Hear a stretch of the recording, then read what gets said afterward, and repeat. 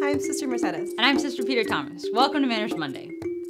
First thing you do when you sit down at the table is you take your napkin and you set it down in your lap.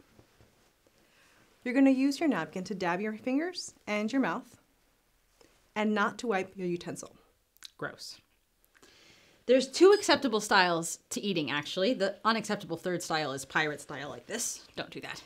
Both acceptable styles start with your knife in your right hand and your fork in your left hand to cut. By the way, whenever you cut your meat, make sure you cut it away from you.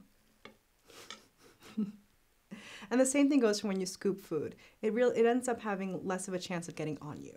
So with American style, you're going to cut with the knife in your right hand, but then you're going to set your knife down and switch hands and use your right hand also for your fork to bring the food to your mouth. And continental style is the same as American style, except you don't switch.